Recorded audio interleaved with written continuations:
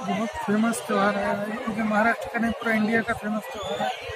और गणेश उत्सव देखने के लिए लोग मुंबई में बहुत दूर दूर से आते हैं सिर्फ़ यही देखने के लिए। आप भी देखिए और इन्जॉय करिए।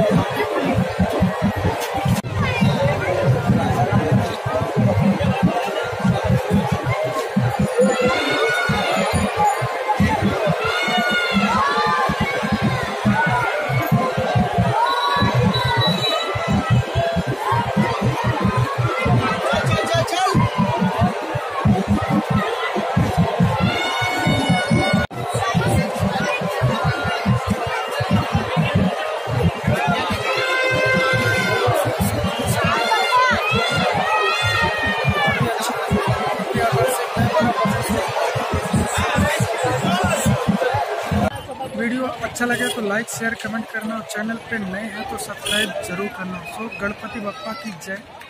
गणपति बप्पा मोर्या।